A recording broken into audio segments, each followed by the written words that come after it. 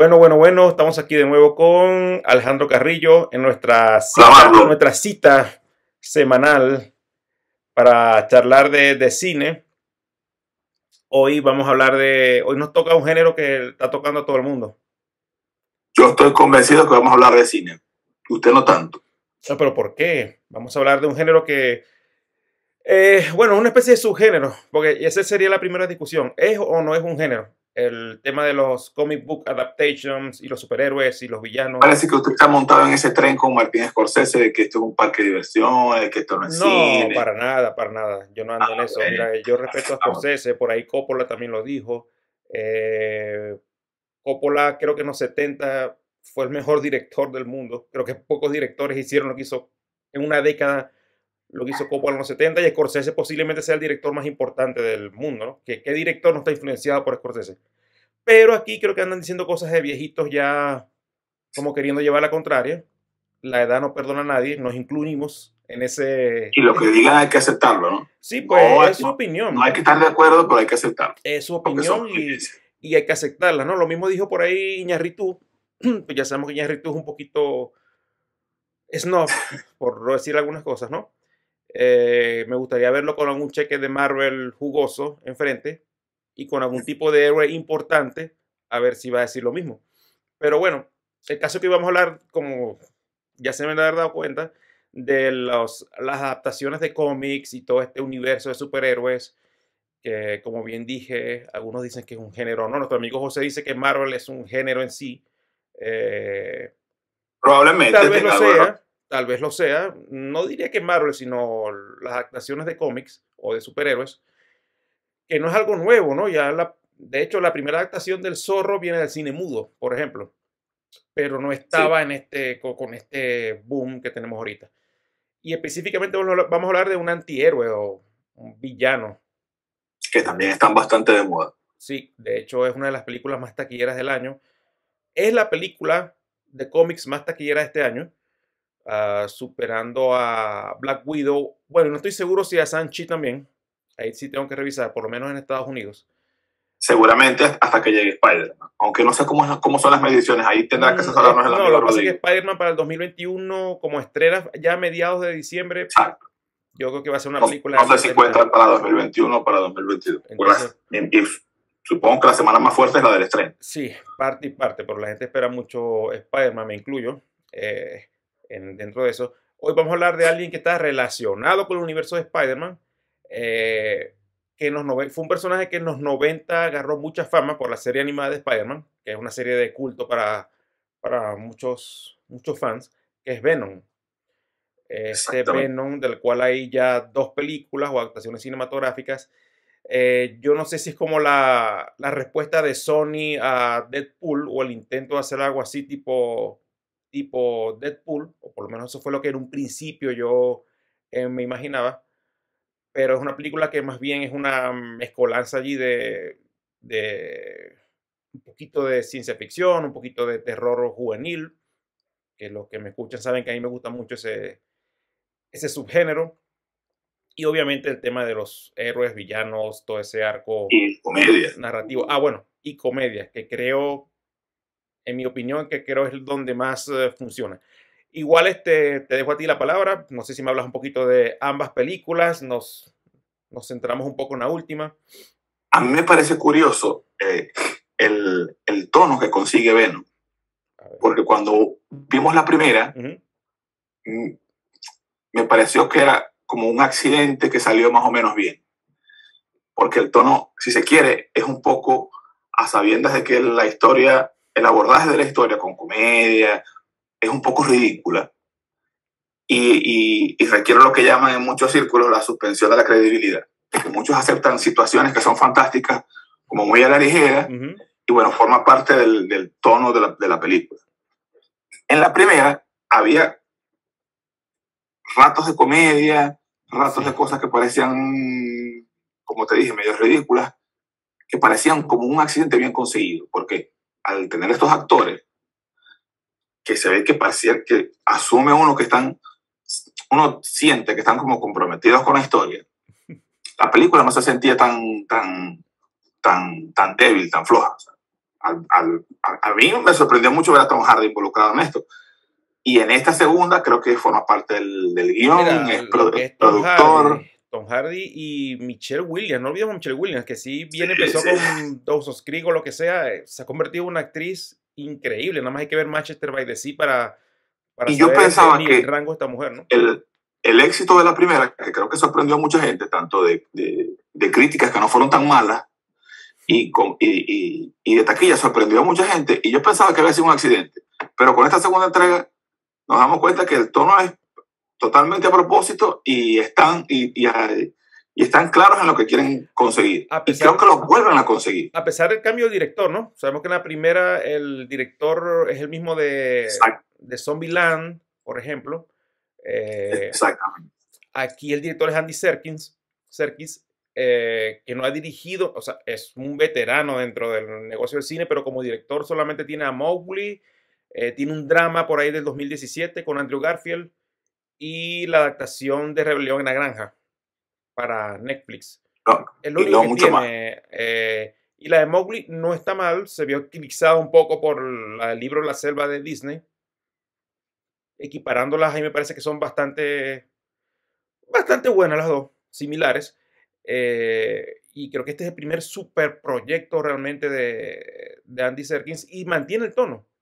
Eh, como dices tú, ¿no? mantiene el tono de, eh, hay momentos que son, sobre todo los de comedia, las interacciones de, de, de Hardy con, con, con Venom.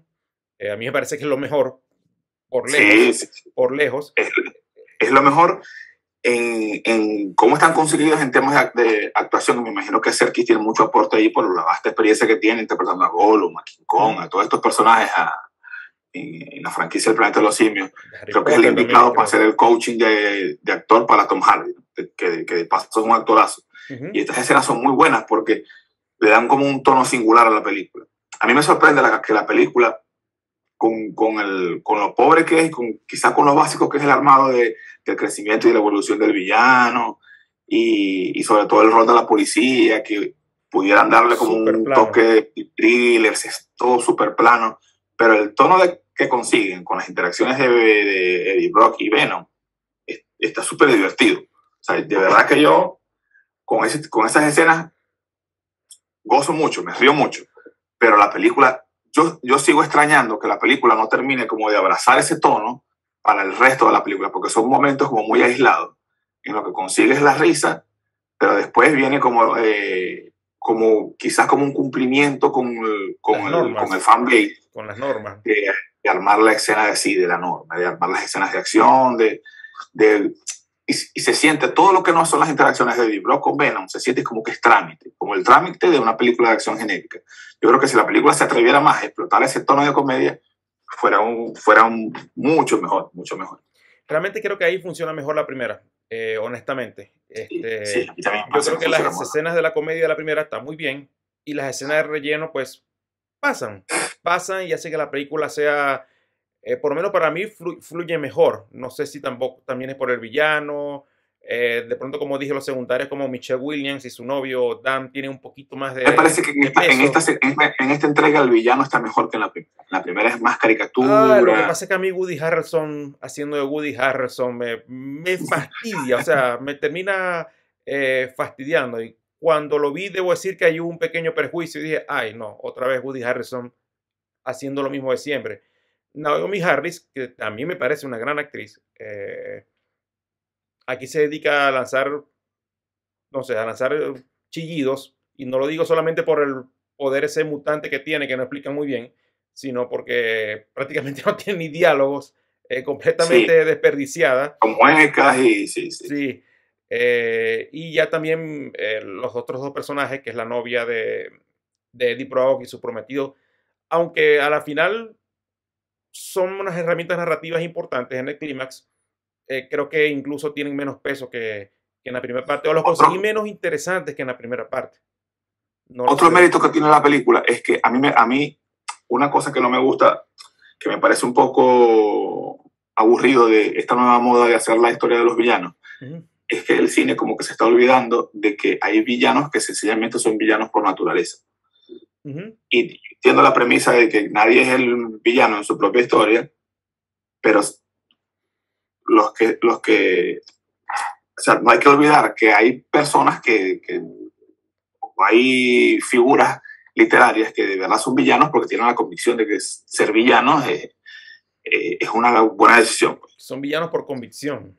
Por convicción, por naturaleza. Como lo decía Nolan en, en, en, la, segunda entrega de Caballero, hay gente que sencillamente quiere ver el mundo arder y ya, no necesitamos mayor explicación. El cine no necesita que todos los villanos sean explicados.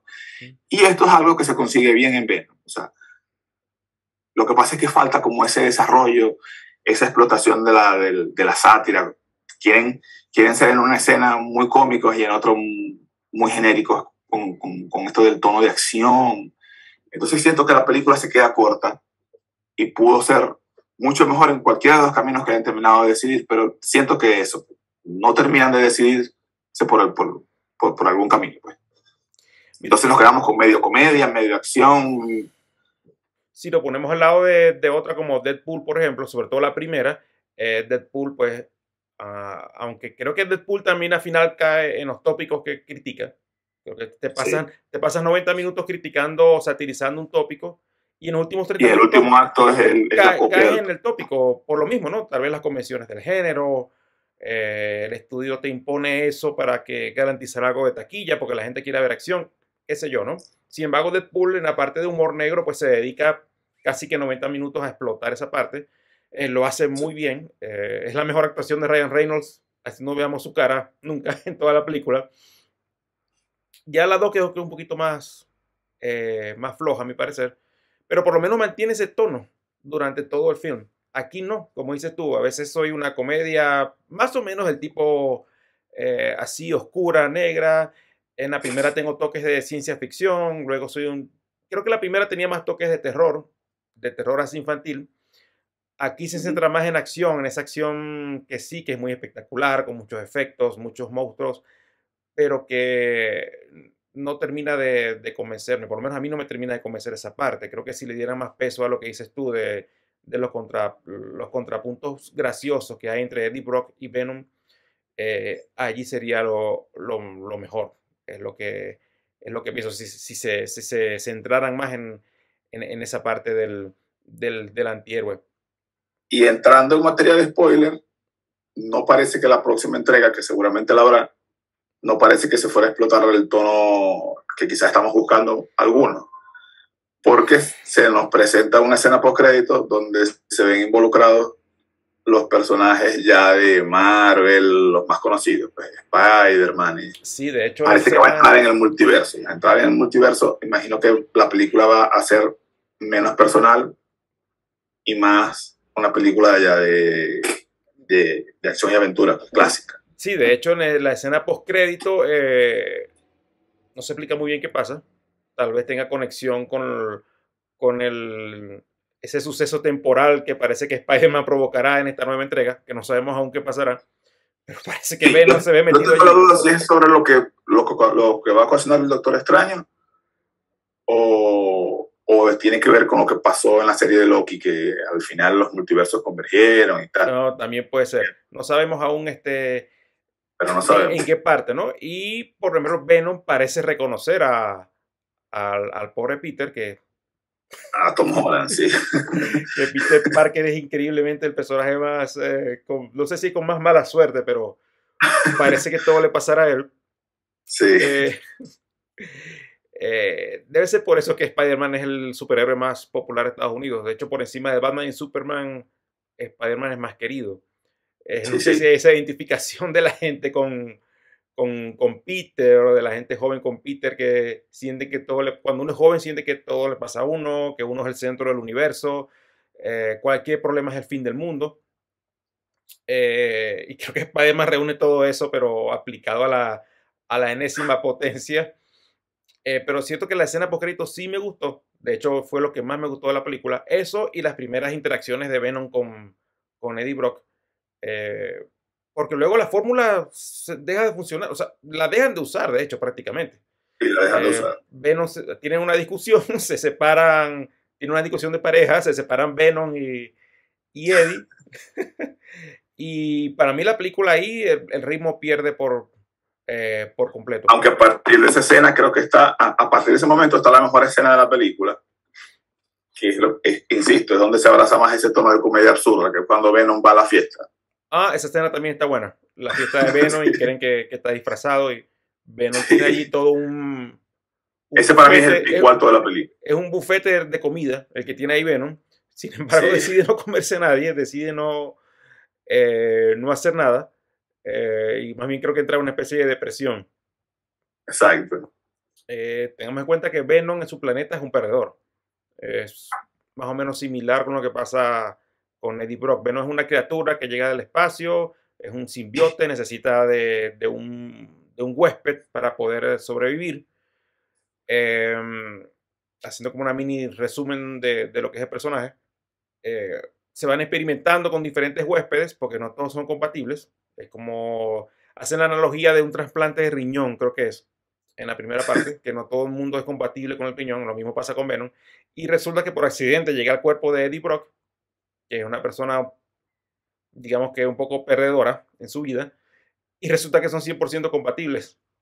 Y, y pues ahí empieza esa extraña relación donde Venom necesita solo alimentarse de personas y Eddie Brock pues como, como ser humano que es, eh, tiene un poquito más de compasión, tal vez haya algo poquito también de eso, ¿no? Ah, no sé si a la manera de, si lo hacen a propósito o no, de, de hablar un poco de la humanidad, de que todos tenemos esa cierta compasión, que no solo por ser villanos, este, te voy a tener que arrancar la cabeza o a castigar, no sé si hablar algo de la pena de muerte por ahí, hay algo de pena de muerte aquí en esta, en esta película. No sé si en verdad la película abrazará esos temas a propósito o no, pero los toca de manera muy superficial, muy dentro del, de lo que es el género. a mí lo que me da es que la, la, película no intenta que, la, que muchas cosas tengan sentido. Hay una escena donde Eddie Brock advierte a Venom que, que, no tire el televisor por la ventana porque cuestan no sé cuántos dólares, dos mil dólares. Y seguido se va Venom y entra el policía a hacer unas preguntas y está un televisor puesto ahí que no se sabemos cómo consiguió y, le hace el comentario. Bonito televisor. o sea, en realidad en el guion, y creo que es intencional, pues, ese tipo de cosas no importan, lo que importa es el, el conseguir el tono de comedia y la acción, pero como te, como te mencioné anteriormente, no alcanza. No alcanza y la película para mí se queda corta en ambos sentidos, porque la acción tampoco es novedosa, no, no, no te brinda mayores sorpresas. Yo, sin, sin pensarlo mucho, le daría un 5, 5 y medio por ahí. No creo que llegue al 6. Yo ese 5, 5 y medio se lo di a la primera, porque sí creo que un poquito más equilibrada a pesar de ese, ese licuado de género que tiene. A mí esta me funcionó menos. Eh, yo a esta le daría un 4. Eh, yo creo que también funciona un poquito más porque no está ese villano sobreexplicado que no necesito que me desarrolle, sino que... Sí, pero es Woody Harrison. no. Sí. bueno, no sé, eh, no, me transmitió nada y bueno, desperdicia a Harrison, que más que a pesar de todo es, buen actor, y a Naomi Harry, que es buena actriz, están allí desperdiciados. Mm, yo le daría un 4. Eh, igual mi escena favorita este, sigue siendo la parte de comedia y es cuando Venom está intentando contentar a Eddie Brock y le está cocinando, le está haciendo la comida. Me, dio mucha risa simplemente verlos allí ambos cocinando como una pareja de novios o, o esposos. es tan absurdo que, eh, que da risa. Pero bueno, dado el éxito de taquilla, creo que tenemos Venom para rato. Eh, sí, sin duda. Y hay que ver, creo que lo más interesante aquí es ver qué va a pasar con este multiverso. Ya de frente nos dijeron, viene Venom con el multiverso. Creo que la segunda parte de Into the Spider-Verse, la película animada de Spider-Man, eh, también va a meterse ya en estos eh, multiversos.